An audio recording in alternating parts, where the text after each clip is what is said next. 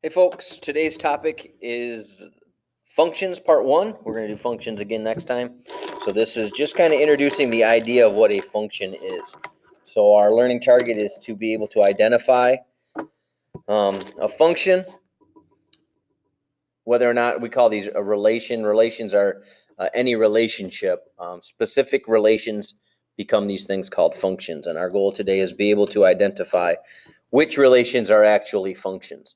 And we know we'll be successful at this if um, if you can apply the definition of a function to your criteria of determining whether something's a function or not, if a relation is a function or not. So let's start with that definition. So, definition a function. Underline function, that's the word we're defining. A function from a set and we usually use capital letters to indicate sets. A function from a set A to a set B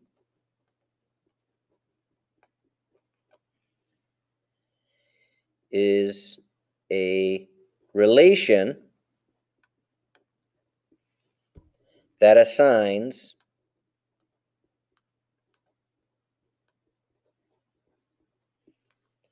to each element x in set A exactly one element y in set B. So this is math speak. You know, mathematicians, we like to be very precise, but sometimes our precision makes it hard to understand what we're even talking about. So let's kind of break this down. So like I said, a relation is any relationship between two things. To make a relation into a function, we have to have this characteristic that everything, every element in A, we call the elements in set A X, they go to exactly one element y in set B. So another way that we could say this, and probably the way that I would recommend remembering it, for every x, there is exactly one y. Notice what I didn't say. I didn't say for every x there's a y. That is not strong enough. You have to say for every x there's exactly one y. And I'm going to get into what that looks like over here in a minute. Um, just a reminder, you probably remember this, I bet from middle school, is when we're when we're talking about x's and y's, the x values belong to a group called the domain and the y values belong to a group called the range. So let's say that this is set A. I don't know what it is. It could be whatever we want. I'm going to make it numbers, but you could make it a set of, you know, clothing. You can make it food. You can make set B something related or not related. You could have clothing over here and books over here. But what we're trying to talk about is the relationship to each other. And you can set up any relationship that you want, but for that relationship to be a function, it has to follow this rule for every x, there's exactly one y. So this is our function machine. I'm going to pick some random numbers and I'm going to put them into our function machine. So let's say I pick the number negative 4, 5, negative 2, 7. Let's say there's lots and lots of other numbers in there, but I don't want to write them all down. And then over in this one, we've got, uh, let's say, negative 1, 8, 11, 0. Let's pick a, a little bit, let's pick a fun one. Pi, you know, it's just a bunch of numbers. So the function is what relates the first set to the next to the other set. So let's say when I put negative 4 into the function machine, it comes out as 11. So negative 4 relates to 11. And let's say 5, when I put it in, comes out as negative 1. I mean, you could think about this. Let's say that there was a squared. Our function was the squared function. That would mean negative 4 would go to 16 and 5 would go to 25. I just kind of picked random numbers here. Let's say when I plug in negative 2, I get out the pi. When I plug in 7, I get out 8.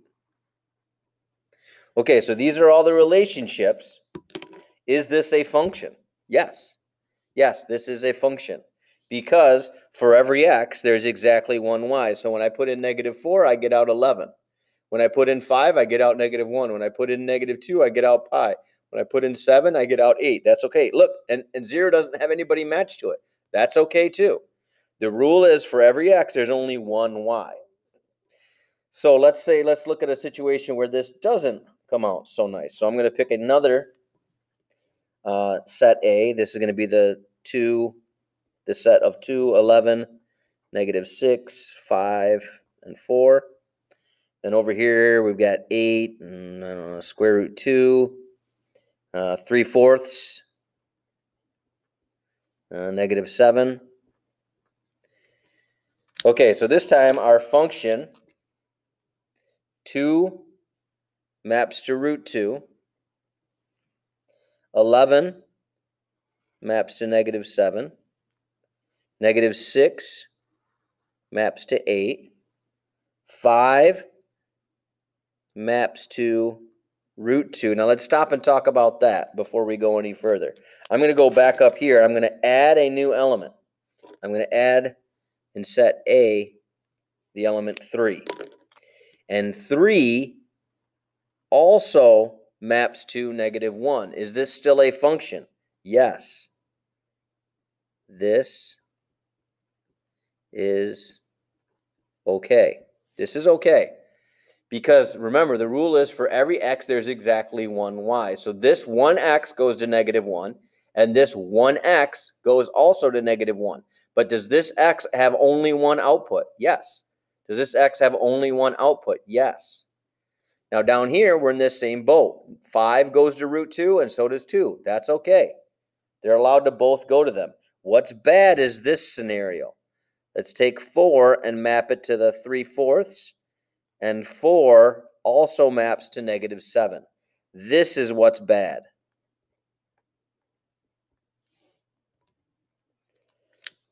So this, let me get a different color.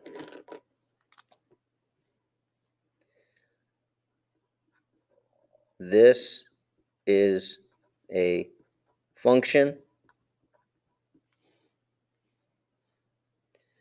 Ugh.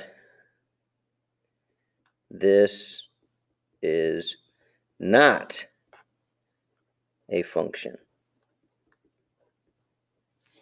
So that one is not a function. Because of this scenario right here, this guy messes this one up. This 4 goes to root to 3 fourths, and this 4 also goes to negative 7. So when we were interviewing for Mr. Wojo's job, um, one of the guys that was interviewing, I thought, explained this really well. I mean, he's not as good a teacher as Mr. Wojo, obviously. That's why we kept Wojo. But I thought he explained this idea really well. He said, think about a function as a vending machine. So you go to a vending machine, and let's pretend like this vending machine, for some reason, has a fogged up glass window. So you can't see what's inside. You know that there's candy in there. You just don't know what, what kind of candy. So you go to the vending machine, you push, you put in your dollar, you put A3, and Snickers falls down. Okay, great. Well, what happens if you come the next day and you hit A4? What if Snickers comes down? To, That's okay, right? You can have two different inputs have the same output. A4 and A3 both got you Snickers. Those were the inputs. They got you the same output. That's okay. I mean, the whole thing could be full of Snickers. That doesn't violate the rules of a function. The problem is if you go to A3 and you hit and Snickers comes out, then the next day you come back and hit A3 again and you get Skittles, that's the problem. That's when it's not a function because your input of A3 gave you Snickers the first time and it gave you Skittles the next time. That's a problem. That's what makes it not a function. I mean, imagine your calculator. What if you typed into your calculator 3 plus 5 and got 8 the first time, and then you typed in 3 plus 5 and got 11 the next time? I mean, that's a problem. And that's why we care about functions.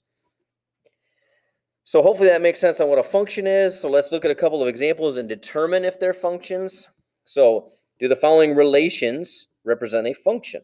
So remember, our argument is totally is is this. For every x, is there exactly one y? So this 1x of negative 1 only goes to 7. 4 goes to 1. 5 goes to 7. 4 goes to negative. Oh, that's a problem. 4 goes to 1 and 4 goes to negative 2. That is a problem.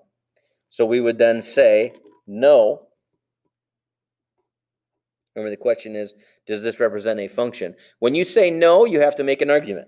No, because who's the problem? 4. And the way we say this is we say 4 maps to 1 and negative 2. Now, if you were to say 4 goes to 1 and negative 2, that'd be fine. It's not quite as mathematical, but it, it would be it would be legal. All right, let's look at the next one. Is this a function? Negative 2 goes to 3, negative 1 goes to 0, 0 goes to 1. Okay, this is kind of confusing. So there's only one x of 0. So that doesn't repeat. That's good. Negative 2 goes to 3, but 2 goes to 3, but those are different x's. They can have the same y's. Different x's can have the same y's. Now this is interesting. We've got a negative 1 that goes to 0, and we've got another negative 1. But where does it go? It goes to 0 again. So yes, this is a function. Even though there's two negative ones, they both map to the same output. So our argument is this right here. You can't just say yes or no. You must make it. Uh, uh, you must justify your result. Yes, and I always say it the same way. For every x, there is exactly one y. And then the last situation uh, when it comes to determining whether something is a function or not is graphically. These are super easy to figure out. You might already even remember it from geometry or algebra 1. So I'm going to make the argument that if I draw a vertical line and that vertical line hits two points on the curve, then you don't have a function. And that should make sense considering what we know about a function. Remember, what makes it a function is whether or not for every x there's exactly one y. So as I look at this picture, this 1x, whatever that number is, has a y value up here. This is a y value. And then this is a different y value for that one x value. That's a problem. Because when I put in x into this function, sometimes I get this y value out, sometimes I get this other y value out. We can't have that. So we would say, no, this is not a function. And graphically, the easy, you could still say this. That would be fine. Like you would say, uh, 1x maps to more than 1y. You could say it like that. But when it comes graphically, the easiest thing to say is f, which is the name of your function. No, f fails the VLT, where VLT stands for vertical line test. So that's what this test is. If you can draw a vertical line anywhere, doesn't have to be correct every time. If you can find one place that's wrong, your function is not a function. Sorry, your relation is not a function. If you can draw a vertical line anywhere and it hits the graph twice, then you you don't have a function. All right, this last spot, this uh, it's not really a function as much as function notation. So I figured this is a nice spot to talk about this. So let's talk about this notation. This is read f of x, not f times x. Normally the parentheses mean multiply. In this case, that is not true. This is the name of the function dependent on, this is the variable, the independent variable. So whatever x is over here, that's going to tell you what the overall function value is. So sometimes we call this g of x or h of x or k of x or m of x or p of x or v of x. I mean, there's all sorts of different ways we could name this. 99% of the time, I'm going to call it f of x.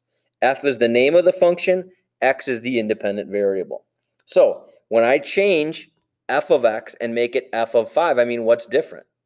Well, the x is gone and a 5 is in its place. So what do you think is going to happen to these x's over here?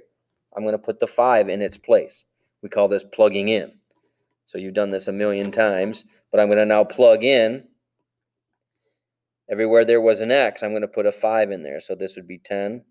Subtract 3 times 5. Subtract 14 times 5 squared which then we would write now our full answer as f of 5 equals, grab your calc or do it in your head, that's 25, uh, negative 355.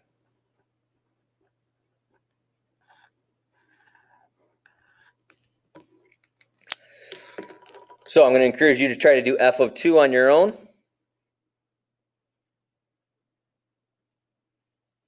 Alrighty, let's see how you did. So f of 2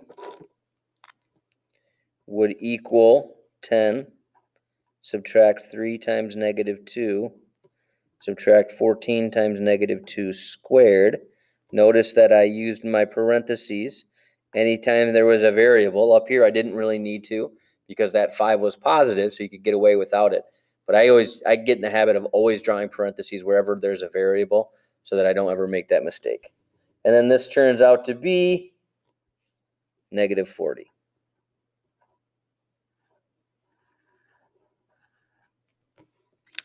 I'm going to check those.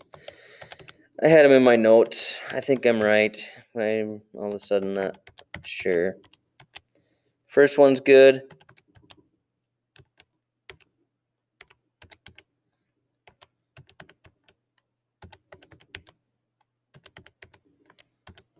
Yeah. All right, they're both good. So how does this change when we don't have a simple number in there, but we have another equation, another function? It's fine. We just take out the x and replace it with this other function, this 2x minus 3. So what would that look like? 10, subtract 3, and now I'm taking out the x and I'm replacing it with what, with what we put in for x. So 2x minus 3 goes wherever there's x.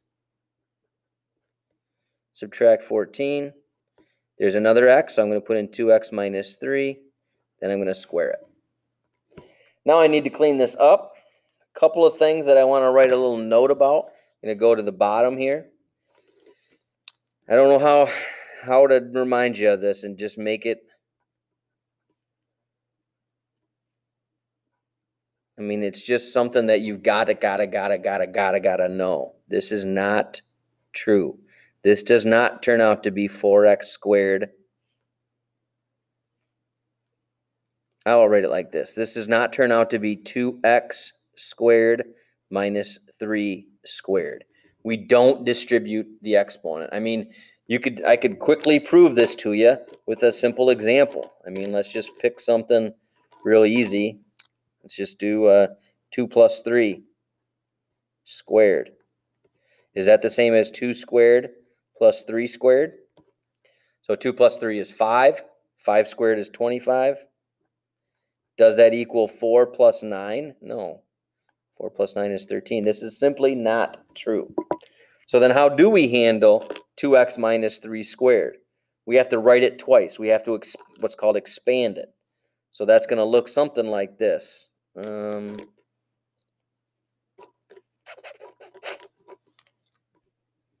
I'm going to use an orange. So that's going to look like this. 2x minus 3 squared is equal to 2x minus 3 times 2x minus 3. Remember, anything squared just means that times itself. So like 6 squared means 6 times 6. Now I would start to distribute this. 2x times 2x is 4x squared. 2x times negative 3 is negative 6x. Negative 3 times 2x is negative 6x. Negative 3 times negative 3 is positive 9. Then we would combine like terms. That is an expanded version of this. So now I'm going to go back up here and I have, I'm going to give myself a little bit more room. 10 Subtract 3 times the quantity 2x minus 3. subtract 14 times the quantity, and now I can put this in its place. 4x squared, subtract 12x plus 9. Now I can get rid of the parentheses. I, yeah, distribute the negative 3, that's negative 6x plus 9. Distribute the negative 14, that's negative 56 x squared plus 168x subtract 126 and then finally I'm going to combine all my like terms and I'm going to put it in standard form I'm going to put the x squared first so I've got negative 56x squareds I've got 168 take away 6 which would be 162 and then 10 plus 9 is 19. Take away would be, let me double check that one. 10 plus 9 minus 126, negative 107.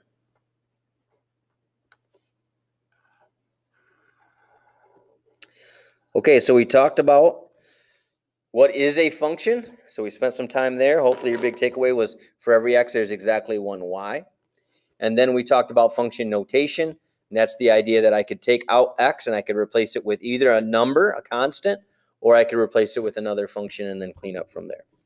Go get them.